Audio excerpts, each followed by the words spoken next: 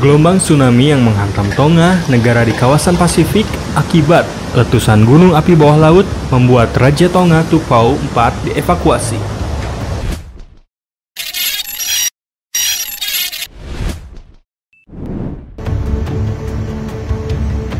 Kondisi iklim semakin tidak menentu.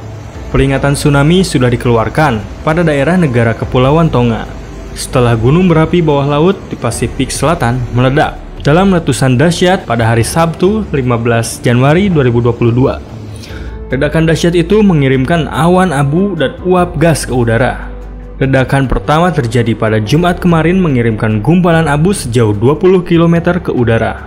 Satelit menunjukkan awan abu besar dan gelombang kejut menyebar dari letusan, bahkan melintas garis pantai ibu kota Tonga, mengalir ke jalan-jalan pantai dan membanjiri properti. Selain peringatan tsunami, Badan Meteorologi Tonga juga sudah mengeluarkan peringatan untuk hujan lebat, banjir bandang, dan angin kencang di daratan dan perairan pantai.